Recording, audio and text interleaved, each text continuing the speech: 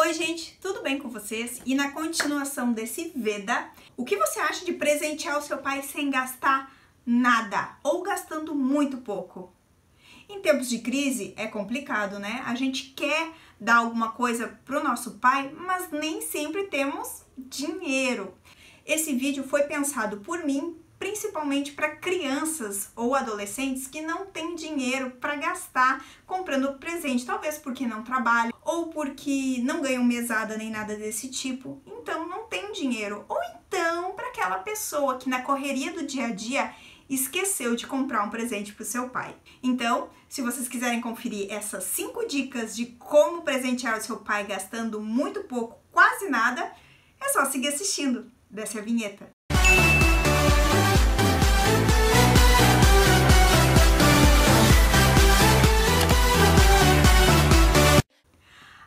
Primeira dica é lista de músicas. O que você acha de juntar num pendrive ou até mesmo fazer uma playlist no YouTube, alguma coisa assim, com músicas inesquecíveis para o seu pai? Calma, eu explico. Que tal você juntar sua família e falar, por exemplo, qual a música do casal, do pai e da mãe, que é algo inesquecível para ele? Quais as músicas que estavam tocando na época que você nasceu? Quais as músicas que ele gostava na infância dele e, óbvio, quais as músicas que ele escuta na atualidade. Você junta tudo isso e salva, ou num pendrive, ou faz uma playlist. Pode ser em qualquer desses aplicativos de música, se o seu pai for mais antenado e escutar música nessas plataformas com certeza vai trazer um sentimento muito nostálgico para o seu pai. Ele vai lembrar de várias ocasiões especiais que vocês viveram juntos e também de coisas da vida dele. Eu tenho certeza que ele vai adorar e você não vai gastar nada com isso. Claro, a menos que você não tenha um pendrive e queira presentear. Mas caso você não queira gastar nada, pode fazer uma playlist mesmo que ele vai adorar com certeza. Dica 2. A dica 2 ela bem simples.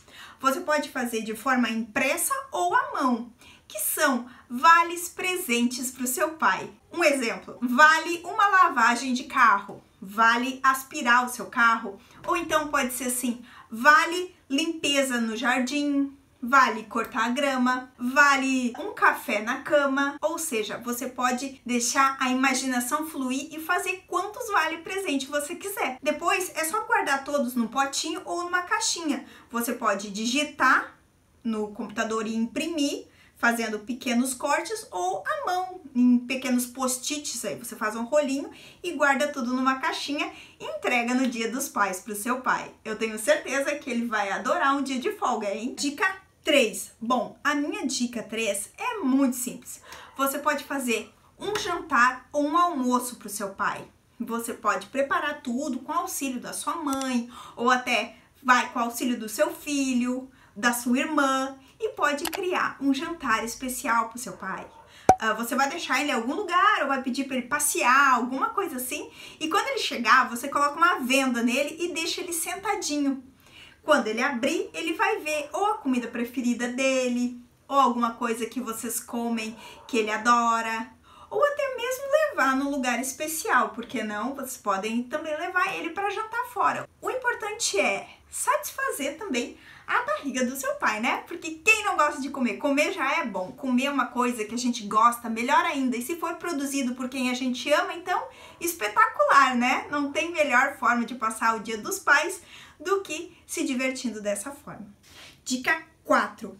Mas se você não é muito bom na cozinha, se você ainda é pequenininho e não pode mexer nas panelas com fogo, com faca, que tal preparar um piquenique para o seu pai? Você pode elaborar uma caixa ou uma cesta e colocar tudo que o seu pai gosta. Você pode colocar sucos, refrigerante, você pode colocar alguns snacks, alguns salgadinhos, você pode fazer sanduíches também, embalar e colocar, enfim, deixa a imaginação fluir e leva seu pai no domingo à tarde para passear no parque. E daí basta estender uma toalha e se divertir, passar um tempo com seu pai, conversar. Vocês podem escutar música, enfim. O importante é destinar aquela tarde para passear com seu pai sem gastar muito e passar horas agradáveis com ele.